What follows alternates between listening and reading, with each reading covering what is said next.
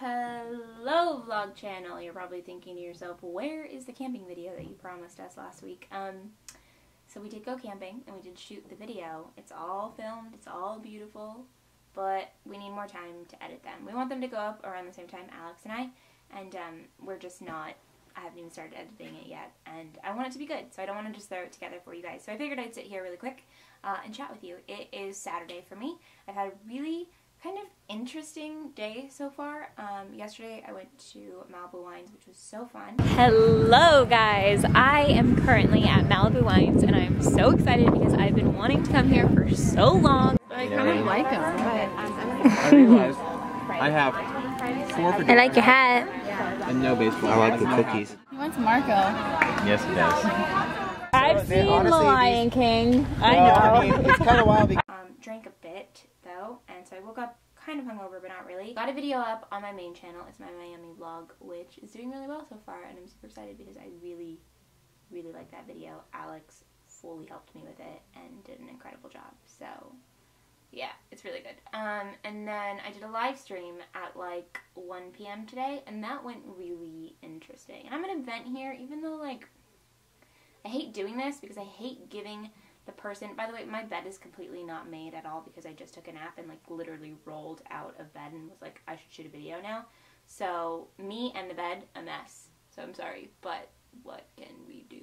So i was on the live stream and i noticed a troll who what i thought was a troll was being very mean in my live stream. Like mean meaning like saying really rude things like racist things cruel things just things that are not cool at all.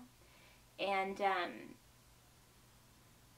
then I realized that I knew who this person was because in the live stream they were like, "You know who I am," and so I stared at it for a second to be like, "Do I?" And then I saw the last name, called my mom up because this is what the situation was. This person in my life dated one of my family members, and I'm not gonna like give you guys all the details because like maybe this person in my family doesn't want everyone to know that it's them or whatever.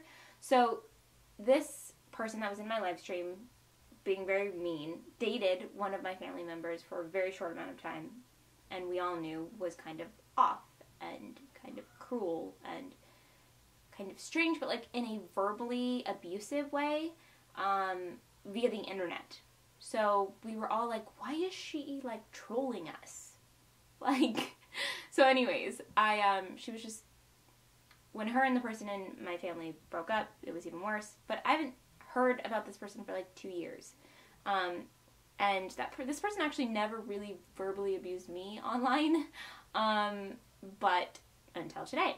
Um, so uh, she was in the live stream saying things like, um, "You're boring. You're um, selfish. You are. Oh, go back to Venezuela."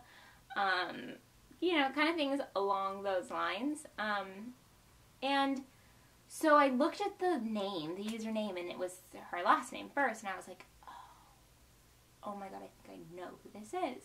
I called my mom, and I'm like, Mom, is this who I think it is? And I told her the story, and my mom was like, oh my gosh, yes, that is who you think it is, blah, blah, blah. Like, got frustrated because she's my mom, and like, you know, and I was like, just, I'll block them it'll be fine. I have the hiccups or burp or something like that. But okay, well, that there you go. Um, I'm gonna take a sip of this. So I blocked the person, and it was fine. But let me like this is it's so crazy that like just this little tiny incident shook me up so much. Like you would think it would be something, and before I even knew who it was, I was shooken up by it because I was like, why is this person in here comment after comment, trying to like tear me apart and tear me down. And then I had this huge like epiphany afterwards because I think too much and I'm probably because I live alone, I think too much. So I just sit here and think about things. it's a problem. Um, so I just like sat down on my bed and I was thinking about it and I was like, God, that was so hurtful. Like even before I knew that it was somebody that I knew. Like either way, I don't really know the person, so like it feels the same because I don't know her. Like she dated somebody in my family for a brief amount of time, and we all knew she was kind of strange. Um, and we knew she was rude and cruel, and that was it. I was just sad afterwards and then I and then I stopped myself from being sad and I tried recognizing like how can someone who just wants to say whatever they want to you doesn't even know you doesn't even know who you are has never like touched your hand has never like had a connection with you has never anything? How could someone like this like hurt you so much? It's amazing how words are so so impactful to people. And trolls of the internet and just people in general do not understand how impactful words are. And especially like for me and I don't want to say like especially for me, but like really especially for me because my love language car alarm is going off. Welcome to Los Angeles. I took the five languages of love and my number one like biggest thing on the list, I think I got a like 10 on it. Um was words of affirmation, and that was how I received love. And it's been really interesting after knowing that my love language is words of affirmation, really like applying that to all aspects of my life and all relationships in my life. Um, and realizing that I get super affected by words and um, I need to be strong enough to not allow words to affect me as much as they do, but then I also need to be gentle with myself and realize that like words are important to me. And for the important relationships in my life, like my boyfriend and friends um, I let that be known. Like if someone says something that uh, is hurtful to me, then I'll say like, words are like really important to me, and I don't just because some people can say whatever they want to each other, like especially in families where they're just kind of like, you're a blah blah blah, you do this, da da da, and like people can just like kind of still continue throughout life and not really think about what that person said and not take it too seriously, but like they affect me. Like words affect me. They're like a big deal to me because it's how I receive love. So when I receive the opposite um, in words, uh, it really affects me. So I guess what I'm trying to say here is just be careful with words and what you say to people. And I know that this is said over and over and over again, but it really can't be said enough. Like, no matter how put together you think a human being is, like, there's people that you go through life and you're like, she's got it together. Uh, she may not have it as much together. And so maybe you're going to be more gentle with that person.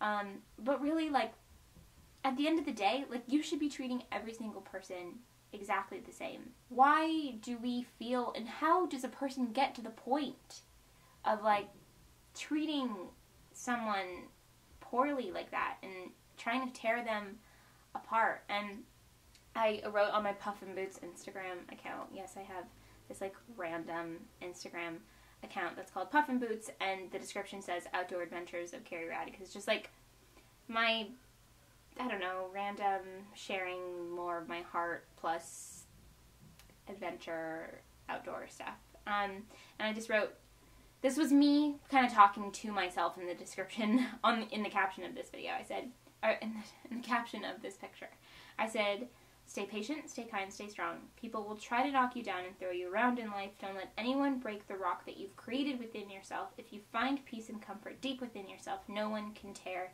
you apart. And I came to that because I started thinking about the fact that I have created this strong rock within myself. And yes, I am strong and I am whole. And yes, people cannot tear me apart. But can they hurt me? Yes, they can hurt me. But at the end of the day, if I stay strong and I find peace within myself, no one can break me.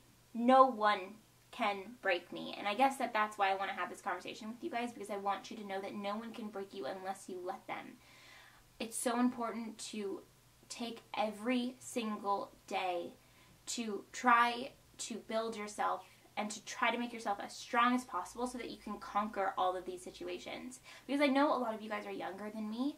I'm 28 years old, so I've experienced a lot of my early 20s, and I know what people are like. No matter how nice you are to them, no matter how good of a person you try to be, people will try to bring you down no matter what. It doesn't matter. And there are relationships in my life now. There's like maybe one or two relationships in my life that are kind of at that point where you're like,